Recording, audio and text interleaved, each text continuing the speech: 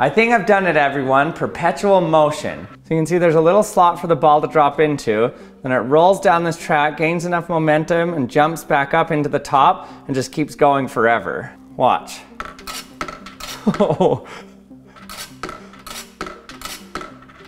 That is so cool.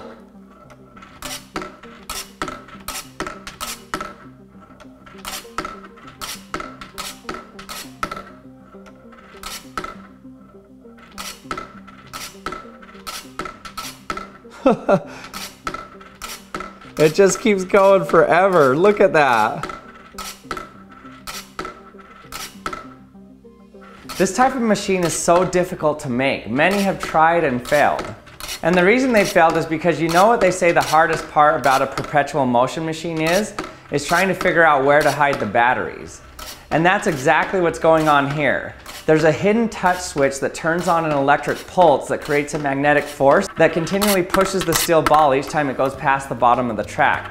If I turn it off, then it doesn't even come close to getting near the top of the track, let alone flying with enough speed to get back to the top of the track.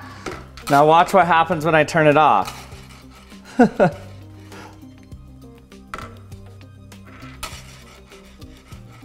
Although I will give it to the makers of this machine, the electric power pulse is completely silent, and you wouldn't know it's a hidden power source unless you take it apart at the base here. So is it really impossible for things to move in perpetual motion like this, or even to move in perpetual motion at all? Well, let's see. But before we do, I want to thank Harry's for sponsoring this video.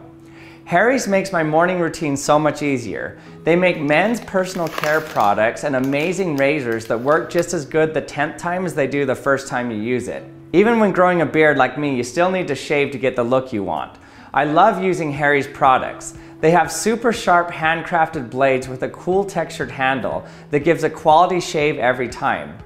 Their razors are fair price and amazing quality, and also the foaming shave gel is suitable for sensitive skin with skin-loving ingredients like aloe and hyaluronic acid. They also deliver the razors directly to your door, so it's super convenient. And they have a 100% money back guarantee because they know you'll love their products. Also, what's really neat is they give 1% of their global sales to nonprofit organizations as well. Their starter set includes a five blade German engineered razor cartridge with a weight textured handle, and they also include the shave cream with aloe and a travel blade cover. So if you want to try out Harry's, go to harrys.com slash action or click the link in my description to get their starter set with a value of $13 for just $5. Now let's get back to our experiment. We know that Newton's first law says that a body remains at rest or in motion at a constant speed in a straight line unless acted upon by a force. So for example, once you set something moving in motion, it will just stay in motion forever unless you exert a force later on it to stop it. On Earth, we usually don't see anything like that happen because if you throw a ball, the friction from the ground or the air eventually stops it pretty quickly. So friction ruins everything. But what if you throw a ball in space? Will it just keep moving forever at the exact same speed that it started with? Well, that's what's happening with the Earth in orbit around the Sun. It's in motion orbiting around the Sun and it will continue to do so for a long, long time. But will it keep moving forever, really? Is the motion of celestial bodies really forever? Well, eventually the Sun will turn into a red giant and engulf the Earth, so we know that it will eventually stop the Earth.